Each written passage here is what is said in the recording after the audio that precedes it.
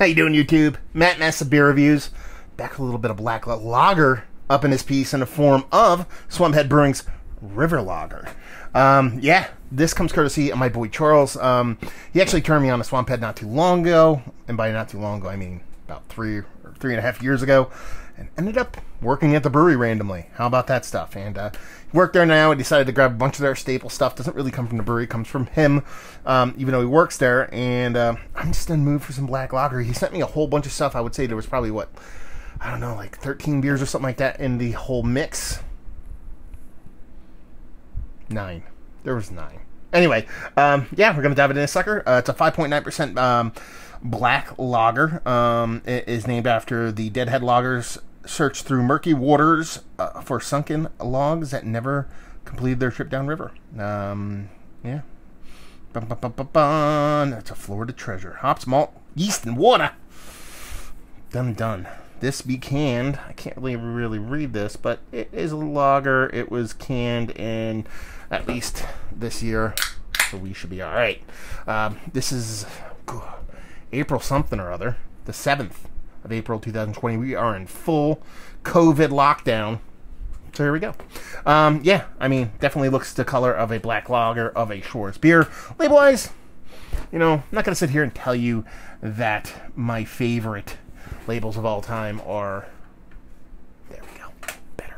Um, Swamp Head. Something about it, I don't know. Doesn't really do it for me, but doesn't necessarily mean beer's going to be poopy. It looks all the parts of a nice rich lager. It looks the part of a nice rich porter, to be perfectly honest with you. Index finger, infinitely creamy head.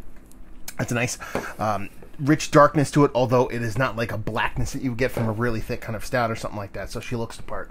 See if we get a nose. I mean, it smells exactly what you'd expect a kind of Schwarzbier black lager to come off as. So you're getting that rich kind of maltiness. It has a little bit of kind of a blackstrap molasses combined combined with a little bit of kind of heavier, darker sugars. And then you get a little bit of soft lager vibes. Nothing too sulfury, nothing too crazy. Yeah, that sweetness really comes through. You definitely get that kind of soft lager yeastiness. Done and done. Let's dive in. Cheers.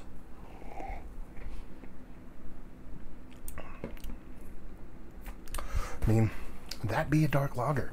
Crisp, clean, refreshing. This is a summer beer. A lot of people look at darker beers like this and go, oh man, you know, mm, not something I really want to drink during the uh, summer months. But no, really nice colder version of this goes down really well. So it's got that crisp cleanness you'd expect from a classic lager. It backs it up with the, uh, that uh, maltiness. Now I expected it to be a little bit more sweeter because it did give me a little bit of that kind of molasses vibes in the nose, but it goes a little bit more kind of charry, a little bit more kind of roasty, toasty than I thought it was going to be based off of the nose. Well, it does have a nice sweetness to it. That malt comes through in a very kind of toasty kind of way. Ends up being a really fucking tasty beer, to be perfectly honest with you. I mean, it's it's not a world beater. It's it's not like something that is a two by four to the face of flavor, but that's not what a dark lager, a Schwarzbier is supposed to be. It's just supposed to be well made, crisp, clean, well made, and just lean a little bit heavier into the malts than hops. There's a soft bittering to it, nothing too crazy. You almost be able to confuse those with like a bittering kind of uh, from the roasted malts. Done and done. It's really tasty beer. Is it? Let's cut to the chase because we're pretty much at the end. Is it one of the better Schwarz beers that I've had as of late?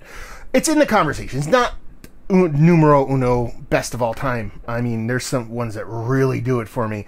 Um, this isn't there, but it's really tasty beer. I would never push this away. And honestly, if something like this was readily available um, around my my way, you know, give me this in a six pack, you know, ten bucks or less, then I'm probably buying this more often than not. Um, let's see, value and availability. I actually don't know Swamp Head's footprint. If uh, Charles or anybody else out there wants to let me know what's when it comes to Swamp Head, along with the price point and leave you with if you like what we like this. If you like classic Schwarzbier dark lager, that's what you're looking for. That's what you're gonna get here. Again, not a two by four to the face, not an otherworldly experience when it comes to beer in general or, or this style in general. Just really well done classic black lager.